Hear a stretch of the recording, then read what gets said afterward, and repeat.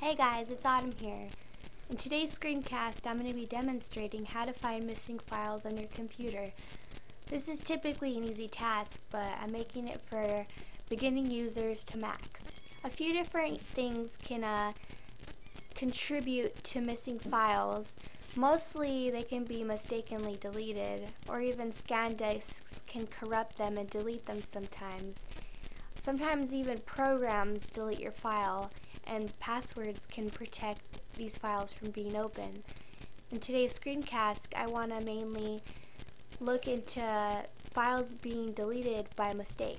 Now, if you wake up one morning and a file that was on your desktop just the other day is missing, don't get frantic and automatically go looking for it in every which way. Okay, in order to demonstrate this, I'm going to make a file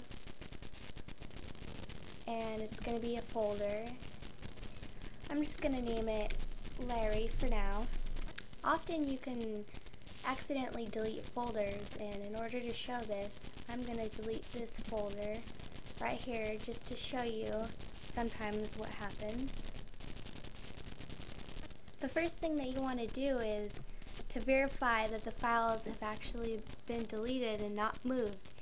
You can search the hard disk drive for files if you believe to be missing, or you can find a search on here.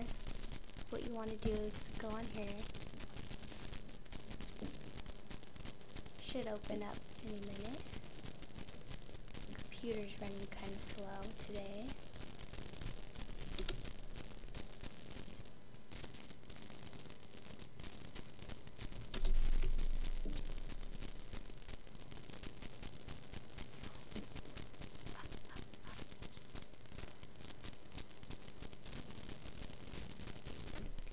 Okay, so back to where I was. You want to hit a search and run. And my computer should open up any second here. Just want to search the desktop and I'm going to search for Larry here and see if it comes up.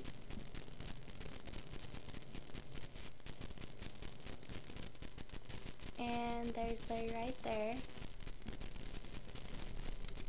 So there's basically nothing to this. Um, you got your file back and all you had to do was run a search because often folders can be just in your trash can and you can search on your desktop and find it in a recycle bin. Now if you're looking to recover a backup file and you're running Apple Mac OS, Microsoft Windows 95, 2000, XP, Vista are later operating and the file has been recently deleted, it is possible that the file may still be in the trash or recycle bin hmm. and it can be recovered with a search as well.